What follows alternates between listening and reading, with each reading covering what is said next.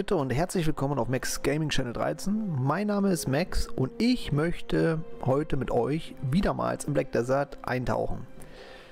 Letzte Folge haben wir uns ja über das UI unterhalten. Heute möchte ich mit euch über das Questlog reden. Warum das Questlog? Wichtig ist ja erstmal zu wissen, dass Questen in Black Desert ein wichtiger Bestandteil sind ähm, und man nicht nur sinnlos ähm, grindet im, in Black Desert. Die Questen zum Beispiel geben ähm, besondere Items. Äh, sie geben Contribution Point XP. Ähm, sie können Energie geben und Inventarerweiterungen oder Accessoires oder bestimmte Waffen. Genauso ist es möglich, über Questen äh, Kampfpunkte zu erhalten oder auch äh, XP für Alchemie, Kochen oder Sammeln. So, ähm, wichtig ist erstmal zu wissen, wo komme ich denn ins Questlog. Da drücken wir einmal mal die Taste O. Wenn wir die Taste O gedrückt haben, haben wir ein äh, Fenster mit drei Registerkarten, aktive Quests, Vorschläge, wiederholbare Quests. Das, die Registerkarte aktive Quests bildet alle Questen ab, die ich angenommen habe. Also ich als Charakter angenommen habe. Und da gibt es verschiedene Questen und die gucken wir uns jetzt mal an. Und zwar folgendermaßen, es gibt hier, wie man sieht, eine Quest mit vorne einem Zeichen ein Haus und einen Turm. Das ist eine sogenannte General Quest oder eine allgemeine Quest. Die kriegt man von jedem NPC äh, in einer Stadt, in einem Dorf oder einer Node. Die kann man dann erledigen und bekommt halt Belohnungen dafür. Diese Quests mit dem gelben Pergament und dem Ausrufezeichen sind sogenannte Story-Questen. Die Story-Questen sind dazu da, um die Geschichte von Black Desert dem Spieler näher zu bringen ähm, wo es dann natürlich auch um gewisse Belohnungen geht, aber eben halt hauptsächlich ähm, soll die Geschichte erzählt werden. Dann hat man hier, ganz wichtig, diesen schwarzen Punkt mit den zwei roten Augen. Das sind die Schwarzgeist-Questen. Ähm, diese Questen bekommt man nur ausschließlich durch den Schwarzgeist und man kann sie auch nur ausschließlich bei ihm abgeben. Das sind halt die wichtigen Questen, ähm, die einen dann durch das Spiel führen, ähm, wo man halt besondere Belohnungen bekommt, ähm, die dann halt eben auch auf das Level angepasst sind, äh, beziehungsweise eben halt, äh, wie man dann halt so spielerisch lernt, äh, mit dem Spiel umzugehen. Dann hat man ähm, die Quest ist leider hier nicht zu sehen, gibt es sogenannte Erkundungsquesten. Das sind Questen, die kann man äh, nutzen, um Gegenden zu erkunden. Ähm, dazu muss man halt äh, zu einem bestimmten Punkt hinreiten oder muss die Gegend zum Beispiel suchen. Und wenn man sie gefunden hat und entdeckt hat, kann man diese Quest wieder abgeben und bekommt natürlich auch eine Belohnung. Dann gibt es noch die Trade-Questen oder die sogenannten Handelsquesten. Die sind dazu da, ähm, damit man, wenn man jetzt zum Beispiel gerne Händler ist oder handelt, dass man dann eben halt ähm, darüber zum Beispiel XP machen kann oder eben halt so bestimmte Münzen bekommt ähm, oder auch Items halt. Dann gibt es die Sammler-Questen beziehungsweise die Processing-Questen oder auch Berufsquesten genannt.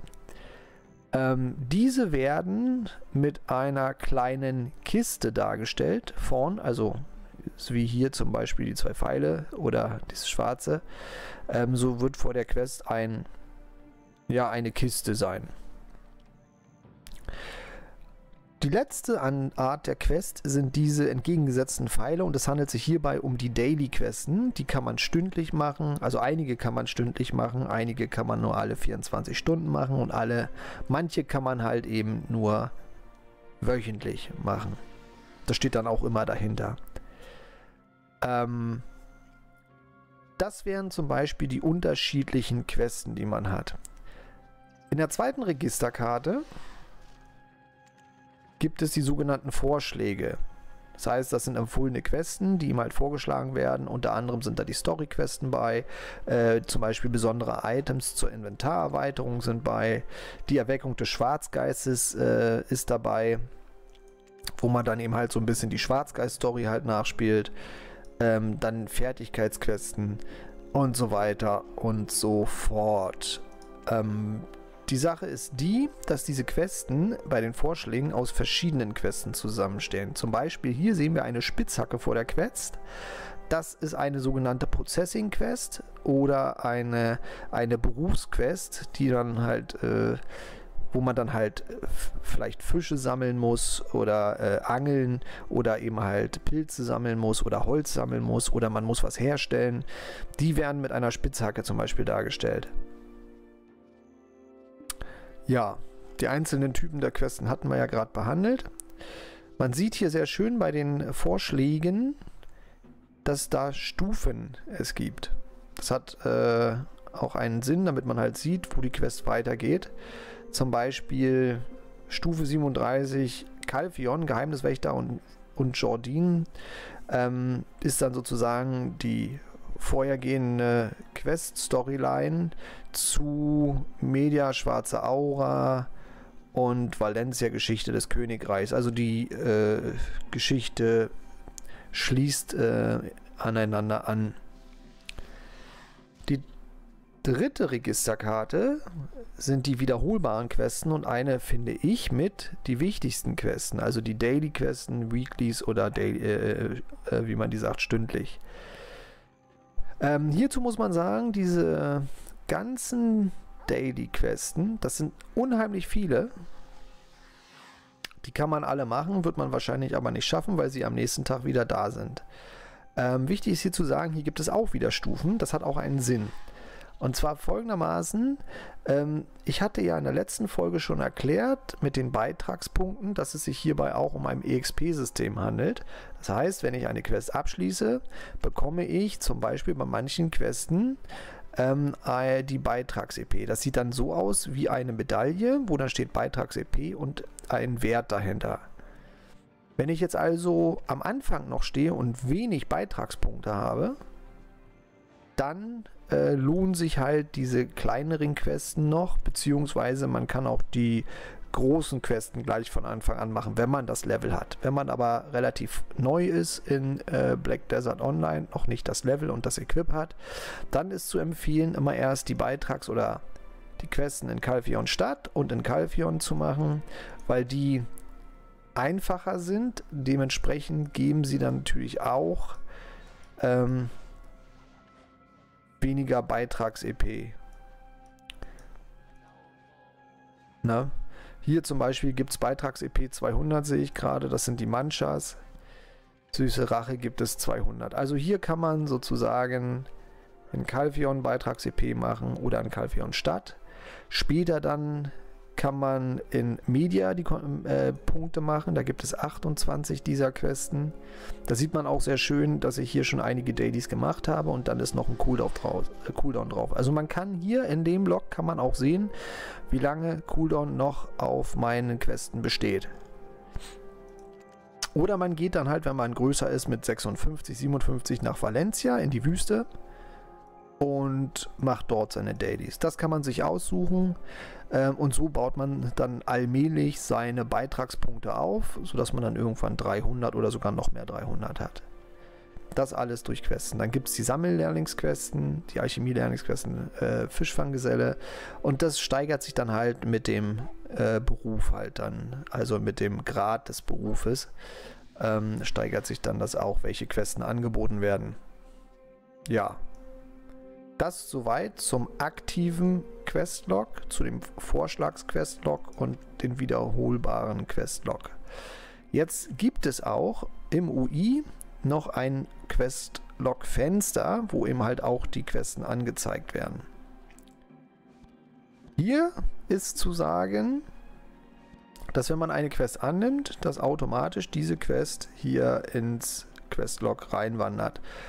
Dafür gibt es dann diese Buttons, die dann sehr interessant sind. Ähm, da gibt es zum Beispiel den Button, äh, um die Quest zu verstecken. Damit bleibt sie im aktiven Questlog erhalten, aber sie wird hier nicht mehr angezeigt.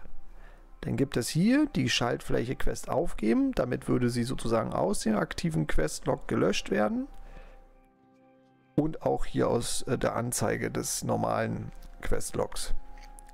Dann gibt es die Schaltfläche Informationen über einen Questort erhalten. Das heißt, äh, man äh, kriegt dann diese Navigationshilfe und man kann dann sozusagen, oder es wird angezeigt, wo es denn, wo die Reise hingeht.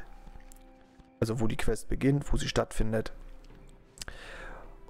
Und das, diese Schaltfläche ist eine Schaltfläche, wenn man die benutzt, dann zeigt er nicht nur die, oder die Navigation zeigt nicht nur an, wo die Quest stattfindet oder wo man sie abgeben oder annehmen kann, sondern er läuft auch automatisch gleich dahin. So. Jetzt kommen wir zu dem, wie kann ich denn eigentlich rausfinden, wer eine Quest hat? Das liegt ganz einfach. Wir sehen das schon. Ich stehe davor. Ähm, alle die NPCs, die eine Quest haben, haben ein viereckiges gelbes Symbol über den Kopf. Na? Wenn man jetzt eine Quest annimmt, geht man auf den NPC, drückt R, dann sieht man auch schon hier vorne, dass es sich hierbei um Story-Questen handelt. Klickt sie einmal an, nimmt sie an. Na? Dann sieht man hier sehr schön, dass eine Quest schon abgeschlossen wurde, weil ich einfach nur mit dem NPC reden muss. So, jetzt habe ich hier alle beide Questen von dem NPC angenommen und man sieht, dass das Viereck jetzt blau wird. Gelb heißt also, ich, die Quest ist verfügbar, ich kann sie annehmen. Blau bedeutet, die Quest ist im schwebenden Zustand, das heißt, sie ist noch in Bearbeitung und kann noch nicht abgegeben werden. Und eine Quest, die beendet wurde, ist rot umrandet mit einem roten Häkchen drin, so wie hier. Dann kann ich da hingehen und kann sozusagen die Quest abgeben. Es gibt aber auch noch Questen, die grün angezeigt werden. Ähm, diese Questen, das sind Aufgaben zum Beispiel für die, für die, für, für die Berufe. Ne, zum Beispiel sammel dies, mach dies, sammel das, stelle das her und so weiter. Ist aber im Grunde genommen nichts anderes wie die normalen Questen in Blau. Das heißt, ich nehme sie an, na, mach sie fertig und gebe sie dann ab. Ja. Der letzte Teil zu dem Questlog äh, ist, dass es zum Beispiel häufig im Stream gefragt wird nach einem Update oder Bugfix, dass plötzlich die Questen nicht mehr angezeigt werden, beziehungsweise dass die Leute die Questen nicht mehr haben. Und da wird dann häufig gefragt, wieso kann ich die Questen nicht mehr annehmen. Das ist eigentlich ganz simpel. Man geht entweder auf das auf O, auf das Questlog und hat hier unten diese Favoriten da kann man dann alle Questen einstellen. Kampfquesten, Arbeitsquesten, Fisch, Handel, andere Questen oder halt alle. Das hier unten, diese Favoriten entsprechen den Optionen von hier. Also man sieht alle Quests, Kampfquest, Fischfang, Erkundung, Handel, sonstige Quests, ne? Arbeit, Fisch, Handel, andere und halt Lebensquest halt. Wichtig ist zu wissen, wenn nach einem Update oder Bugfix diese Häkchen rausgenommen wurden, dann verschwinden die Quests. Das kann man mal kurz zeigen. Das sind jetzt Kampfquests. Jetzt sieht man, dass hier hinten zum Beispiel eine Quest verschwunden ist. Warum die gelben, die beiden gelben Questen hier nicht verschwunden sind, also die eine blaue und eine gelbe Quest, liegt daran, dass es sich dabei um Story-Quests handelt und Story-Quests werden immer angezeigt. Normale Questen, also allgemeine Spielquesten von NPCs, die verschwinden dann. Dann geht man einfach entweder über O unten auf die Favoriten und klickt an, was man haben möchte, ob man Arbeitsfisch, Handel, andere Questen, das sind auch hier hier in den Optionen die Lebensquesten, die gehören dann zu den sonstigen und andere. Ob man dann wieder alles reinmacht oder eben halt so wie ich halt nur die Kampfquesten. Und dann sieht man schon, dann erscheinen wieder diese ganzen Questen, die von normalen NPCs vergeben werden. Und somit kann man nach jedem Bugfix oder Patch einfach das Quest, die Questen nochmal neu einstellen. Man sortiert, kann sie sich dann auch nochmal sortieren, wie man das möchte. Also nach Distanz, äh, nach Quest-Annahmezeit oder zum Beispiel der bevorzugte Typ. Also aufsteigend oder absteigend. Ich benutze sehr gerne immer die nächste Distanz, weil das hat den Vorteil, dass wenn ich halt eben in den Dailies bin, ähm, nehme ich natürlich die nächstliegende Daily Quest, arbeite die ab und gehe dann weiter. Ja. Das war eigentlich schon alles, was man zum Questlog wissen muss. Ich bin jetzt raus. Bis zum nächsten Mal. Euer Max. Macht's gut. Ciao.